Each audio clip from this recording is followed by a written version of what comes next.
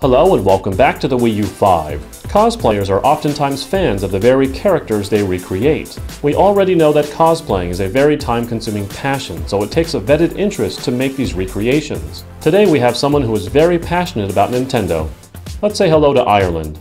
Hello Ireland, how are you today? I'm great. How are you? As per the usual, barely alive. Aren't we all? So I want to ask you about that jewel-encrusted Master Pokeball. Ah, this one. It's so shiny.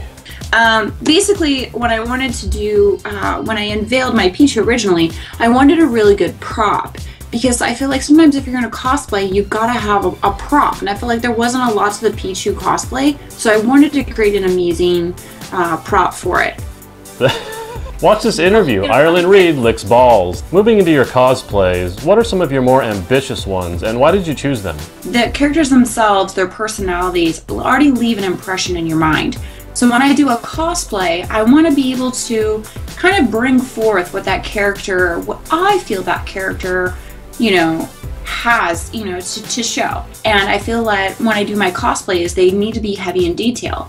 Now, a lot of, you know, my newer ones that are coming out are very intricate with over 100 hours put into each piece. The piece that I've done the most with would have to be Emma Frost, which was about two and a half months and over 85,000 individually placed Swarovski crystals, not even alone actually sewing and making the materials. So it was very, very intricate for me.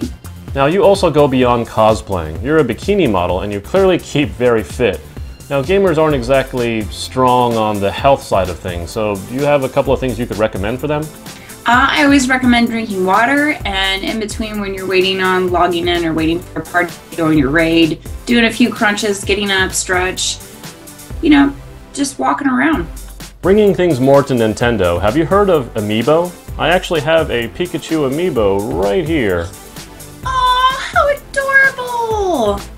Actually, yes, I. Oh, he's so. I just want to hug him. Can I hug him? No, just kidding. no, I actually have a few amiibos. I love them. So, if you have some amiibo, have you been training them in Smash Brothers? Sadly, no. I uh, I keep them all boxed up, so they're in their little nest. I keep them in their little nest, and I just touch the box like this. I don't get that opportunity because you know, when I got them, oh, they were like, oh, they're being discontinued and stuff. And I'm like, well, I don't even know if I want to. I would never really sell them, but I just like keeping them and collecting them. Are you one of those people who hoarded a bunch of them?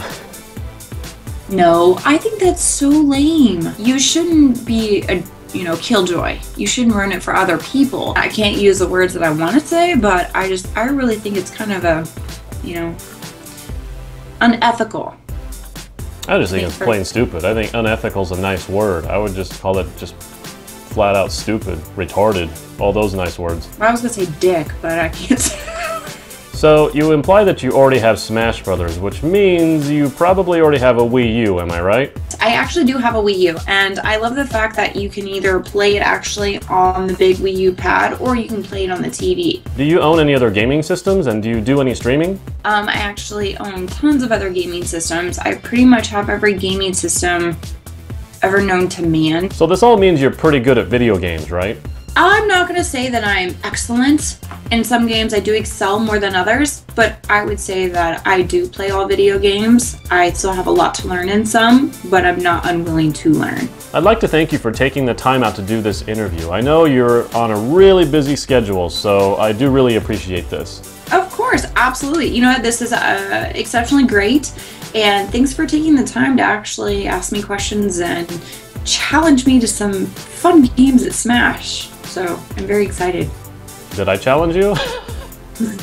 oh, you did. It's on.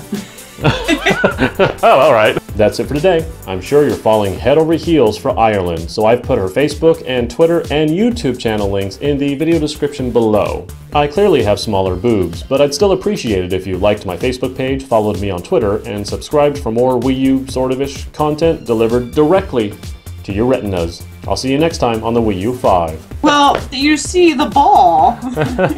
Show off the Master Pokeball. Everyone's like, I don't see the Master Pokeball. you should try decaf, Ireland. You should try it. It's, it's nice. I've only had one cup today. what size was the cup?